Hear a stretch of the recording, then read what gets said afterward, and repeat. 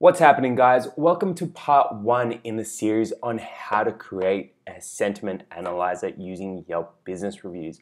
In this video, we're going to go through how to get your data off Yelp using Beautiful Soup and the requests module from Python.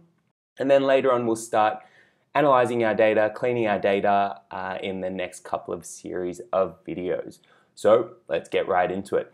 So the first thing that we're going to need to do in order to get our data off Yelp is to create a request and grab our data from there to begin with. So to do that, we're going to use the requests module from Python and we're going to import requests and we're also going to need beautiful soup so beautiful soup just makes life a whole lot easier when you're trying to traverse a HTML result so we're going to import beautiful soup and we're going to do that by running the command so bs4 so from bs4 import beautiful soup. Alrighty, cool. So what we're going to do now is create a request to the website that contains our review data. So I've just picked a random Tesla dealership. So let's just use that for now. And you can see the link there. So we'll copy that. And our request is, so we're going to store our request or our result in a variable. So we're just going to call the variable R for now and we'll make a request by running request.get and we'll pass our URL there. If everything has gone successfully, we should be able to get a status code of 200. So we can check that by getting the attribute r.statuscode and you can see it's 200.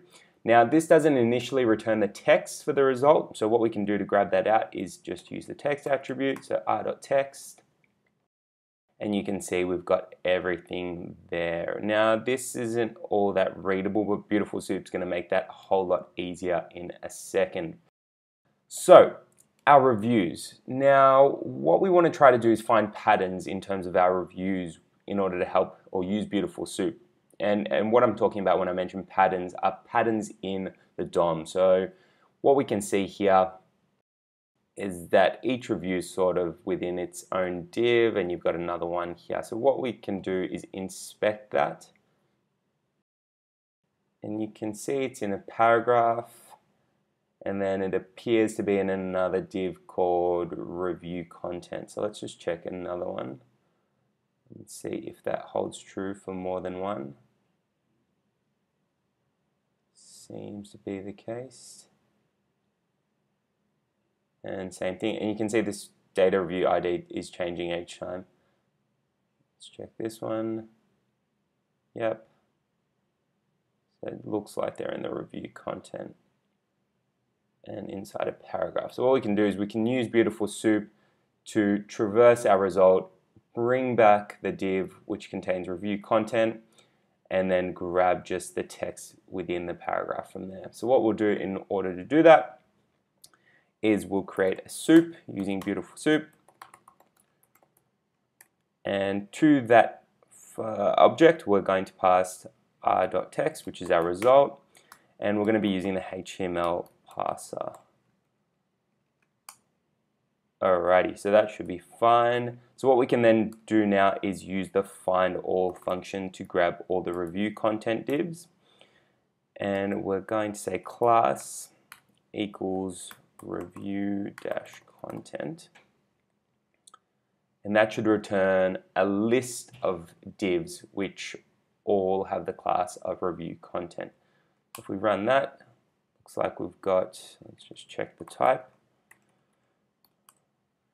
Okay, so it's a results set, which is really just a list.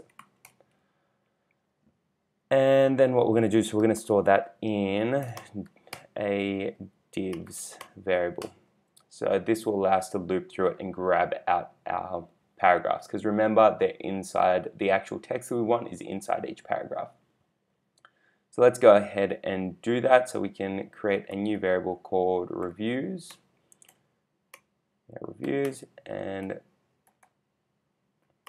that will be a blank list to begin with. And then we're just going to loop through each one in the div. So for div in divs we are going to, so div dot find, so we're going to use the find method and we're going to look for the paragraph. And we, let's print that out just to make sure we're getting the right thing to begin with. Okay, so it looks like it's getting each paragraph. That's looking good, but it's still got the markup, so we don't actually want that, so we just want the text.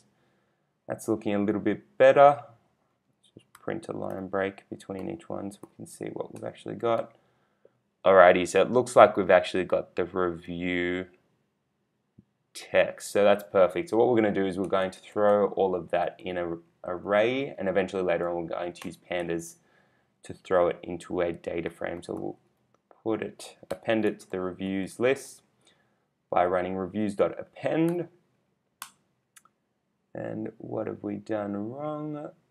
Oh, sorry, we've got this review, haven't we? Um, we also had one too many brackets, so let's just do that. Alrighty, and there we go. So we've now got our reviews in an array and we're ready to jump over to step two. So in video two, we're gonna go through how to analyze our review data. So we're going to be calculating some useful metrics and we'll go from there.